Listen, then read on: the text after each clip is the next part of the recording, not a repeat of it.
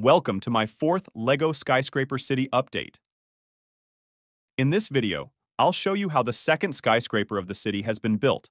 And trust me, you don't want to miss this. It's going to be an office building with large white windows in a wall of masonry profile, light brown bricks. The office has a unique round shape, making it a technical challenge to build. Curious about how I did it? Let's take a minute to see how I pulled this off before we move on to the interior of the office. Keep watching.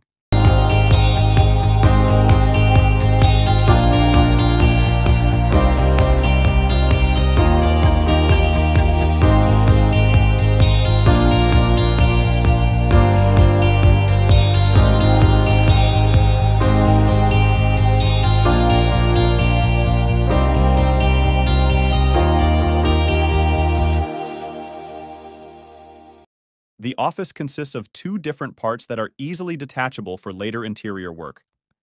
As you can see, this building is also built on a 32 by 32 studs baseplate according to MILS rules.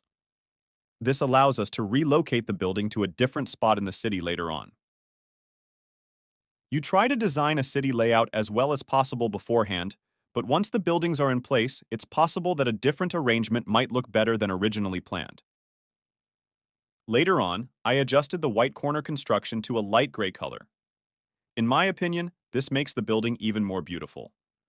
We'll see this in the video later. Let's see how it looks next to the first skyscraper. What do you think?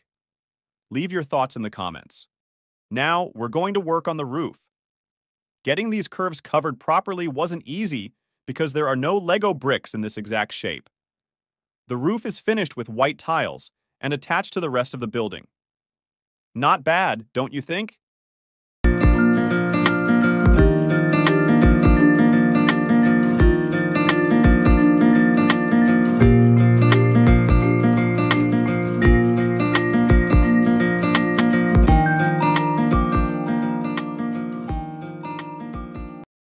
With the building's foundation in place, we'll move on to the interior. On the ground floor of the office, you'll find the lobby, including a reception area and an elevator to the upper floors, where desks and computers are located so people can get their work done. When building on this scale, it's impossible to furnish every floor, but these three floors give the building a much better look. Let's see how I created the interior.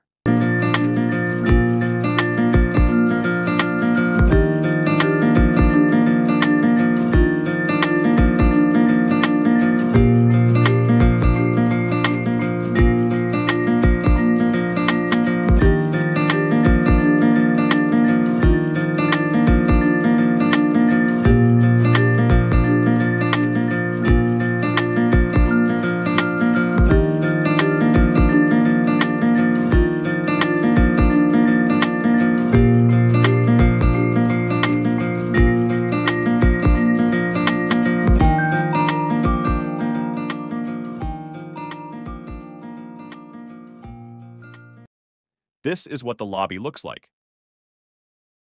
Let's move on to the next floor where the office is located.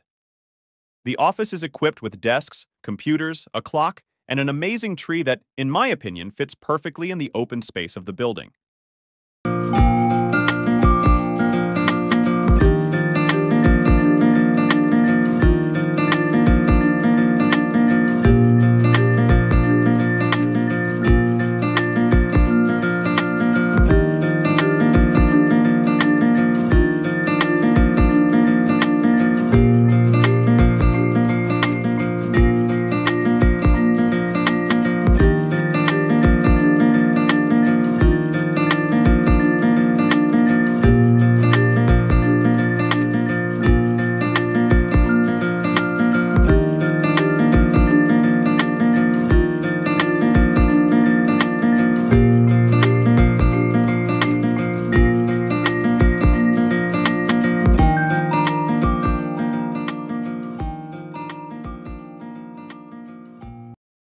This is the end result.